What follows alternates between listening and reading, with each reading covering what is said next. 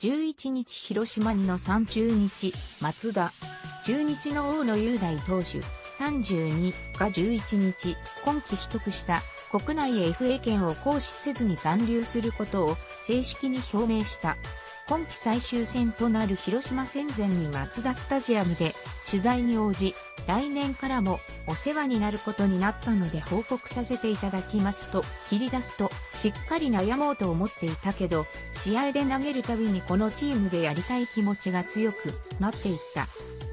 去年、単年契約を選んだ時は、他球団の評価も知りたかったけど、残りたい気持ちが増していったので、その思いは薄れていったと話した。